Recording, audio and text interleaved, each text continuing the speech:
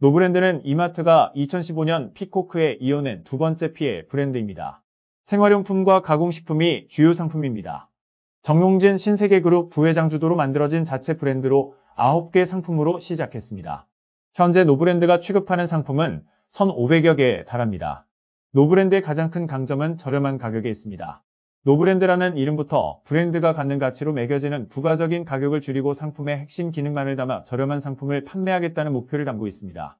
이마트에 따르면 노브랜드의 25개 주요 상품은 일반 상품 대비 평균 46% 저렴합니다.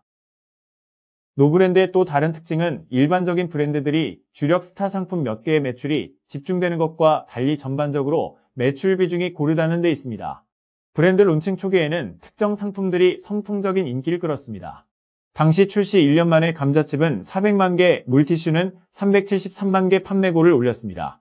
브랜드 론칭 8년여에 이른 현재 노브랜드는 큰 인기를 끄는 메가 히트 상품을 다수 가지고 있지만 이와 동시에 전 상품군에 고르게 매출이 나타나고 있습니다.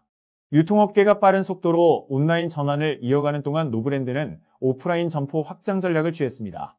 노브랜드는 현재 230여 개 매장을 운영 중입니다. 이마트는 노브랜드의 상생도 자랑거리로 꼽습니다.